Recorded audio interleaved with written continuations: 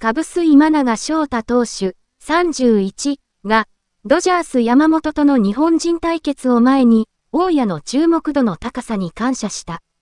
10日、日本時間11日のドジャース戦に中5日で先発。復帰戦となる山本とメジャー初の投げ合いになる。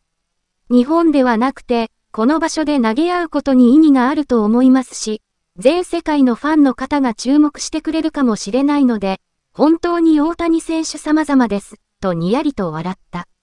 大谷が左翼、今永が右翼でキャッチボールするタイミングが重なって、合間に共に帽子を取って、しんしんとお辞儀で挨拶した。練習には大谷、山本が今永の元に向かって笑顔で談笑。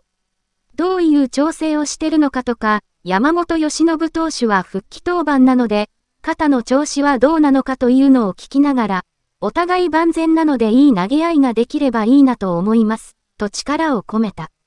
練習前にはマウンドに向かって、球場の景色、マウンドの形状などをシャドーピッチングをしながら確かめた。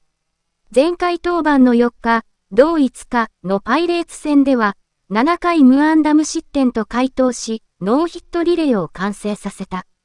今週はいい調整もできましたし、先週良すぎた部分はあまり引きずらずに、舞台、環境も違うので、すっきりした気持ちで臨みたいです、と意気込んだ。